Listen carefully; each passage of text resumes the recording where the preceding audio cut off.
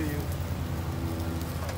So here's his banner with all of his contacts. We are here today till 4 o'clock from 12 to 4. It's a nice um, diversity cultural fair in Taunton, Mass. There's a lot of food trucks as you can see all the way down.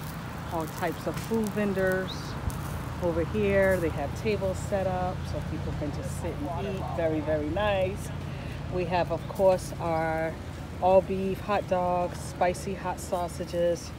Um, today we actually have veggie burgers. We have veggie burgers and we have today turkey hot dogs. That's another thing we decided to bring today, turkey hot dogs. And of course, this is all of our fixings over here. Trying to keep everything out of the sun, all of our certifications. So yeah, we're all set up and ready. Uh, inspector just left.